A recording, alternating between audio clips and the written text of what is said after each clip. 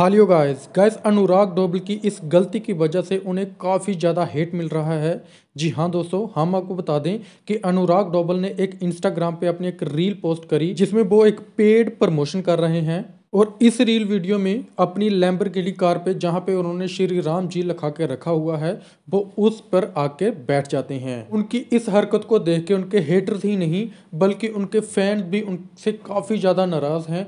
काफ़ी ज़्यादा गुस्सा हैं और कमेंट सेक्शन में कमेंट कर रहे हैं कि उनको ऐसा नहीं करना चाहिए था, जहाँ पे श्री राम जी का नाम लिखा है, उनको वहाँ पे नहीं बैठना चाहिए था। लेकिन वहीं दूसरी ओर कुछ लोगों का कहना है कि उन्होंने ये सब जो है, वो जानबूझ के नहीं किया है। तो दोस्तों, आपके ख्याल में उनको जे चीज़ का ध्यान रखना चाहिए था कि वहाँ पे जय श्री राम जी का नाम लिखा हुआ है, उनको जहाँ पे अपना दिमाग लगाना चाहिए था। तो दोस्तों, आपके ख्याल में अनुराग डोबल ने जो भी किया, इसके बारे में आपका क्या ख्याल है? आपकी जो भी ओपिनियन हो, आपकी जो भी राय हो प्लीज़ हमें कमेंट सेक्शन में ज़रूर बताइएगा।